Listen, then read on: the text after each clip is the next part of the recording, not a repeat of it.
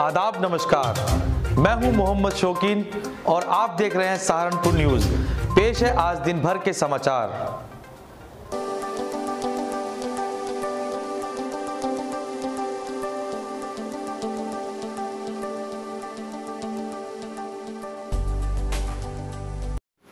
सहारनपुर में बुधवार की रात कोतवाली नगर क्षेत्र के पहलवान पीर ढमोला नदी के किनारे पुलिस और बदमाशों की मुठभेड़ हो गई।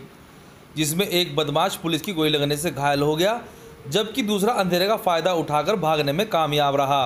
घायल बदमाश की पहचान पंद्रह हज़ार का इनामी अलीम पुत्र सलीम के रूप में हुई है, जिसको पुलिस ने घायल अवस्था में जिला चिकित्सालय में भर्ती कराया है। देखिए, कोतवाली नगर थाना क्षेत्र के पहलवान पीर की घटना है। रूटीन में चेकिंग चल रही थी। इंस्पेक्टर कोतवाली नगर से हम चेकिंग कर रहे थे। देहरादून रोड की तरफ़ से मोटरसाइकिल पर दो व्यक्ति आए और पुलिस की चेकिंग देखकर वो बड़ा हड़बड़ा करके ढमोला नदी की तरफ़ को मुड़े हैं। पुलिस को भी जब उनका संदेह हुआ और उनका पीछा किया तो इस हड़बड़ी में उनकी मोटरसाइकिल गिर गई। एक बदमाश वहीं पर पुलिस पर फायर करता रहा, दूसरा फायर करके भागा है पुलिस के ऊपर और ढमोला नदी के ज़रिए जो है वो वो भाग गया, उसकी कॉम्बिंग चल रही है। जो बदमाश वहीं मौके पर था और मोटरसाइकिल थी इस बदमाश ने पुलिस के ऊपर जान से मारने की नीयत से फायर किया।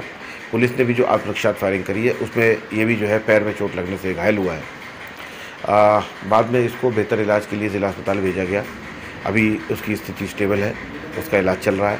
इसके बारे में जो जानकारी करी गई तो ये अलीम सन ऑफ़ सलीम नाम का एक हार्ड एंड क्रिमिनल है। जो कि हमारे यहाँ से वांछित भी चल रहा था। हमारे पास हमारे ज़िले में पंद्रह हज़ार रुपये का ये इस, इसके ऊपर इनाम है और ये गैंगस्टर जैसे गंभीर अभियोगों में ये वांछित था।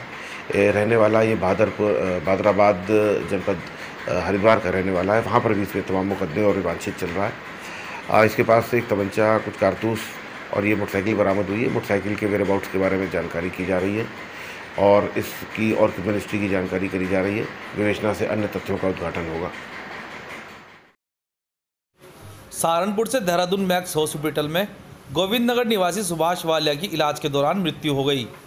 बताया जा रहा है कि वो हार्ट के पेशेंट थे जिनकी मृत्यु के बाद उनकी रिपोर्ट कोरोना पॉजिटिव आई है जिसके बाद प्रशासन ने उनके क्षेत्र को सैनिटाइज कराकर सील कर दिया है और उनके परिवार को क्वारंटाइन करा दिया गया है। क्या मामला हुआ आपके क्षेत्र में? मामला ये है गोविंद क्षेत्र की मीता स्कने वाली ये गली है। क्योंकि थोड़ी मिक्सड गली है, यहाँ पे आबादी भी काफ़ी अच्छी अच्छी खासी है। तो यहाँ पर एक परिवार में कल एक बुज़ुर्ग वार की की डेथ हुई थी उनका स्वर्गवास हुआ था कल मैक्स हॉस्पिटल देहरादून में। तो वहाँ उनका जो चेकअप हुआ, गए तो थे वो हार्ट के ऑपरेशन के लिए, लेकिन जो चेक हुआ तो उसमें कोरोना पॉजिटिव के सिम्टम भी आए। तो उसी बात को एहतियात रखते हुए आज उनके बाकी परिवार के सदस्यों को क्वारंटीन करने की कार्रवाई की गई है, गली सील की गई है। और बाकी किसी में कोई ऐसा सिम्टम आया तो नहीं कोरोना का तो इसके लिए कुछ लोगों को टेस्टिंग के लिए ले जाया गया है और बाकी लोगों के सैंपल लिए गए हैं। क्या नाम है? सहारनपुर में बृहस्पतिवार को अपनी समस्याओं व मांगों को लेकर होटल स्वामी व रेस्टोरेंट स्वामियों का एक प्रतिनिधिमंडल जिला अधिकारी से जिला मुख्यालय पर जाकर मिला। उन्होंने जिला अधिकारी को अपनी समस्याओं व मांगों से अवगत कराते हुए उनके निस्तारण की जल्द से जल्द मांग की। उसके लिए हम डीएम साहब के पास आए थे कि हमारे लिए कोई एक्स्ट्रा गाइडलाइंस लोकल लेवल पर हैं या नहीं।